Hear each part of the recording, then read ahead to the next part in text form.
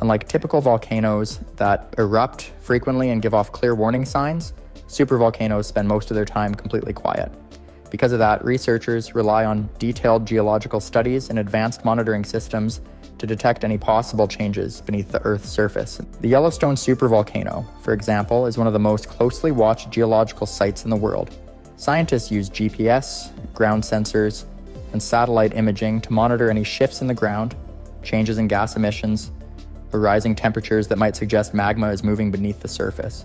So far, while Yellowstone shows signs of geothermal activity, like geysers and hot springs, there is no evidence that an eruption is imminent. In fact, most scientists agree that there's no reason to expect one anytime soon. However, the risk is not zero.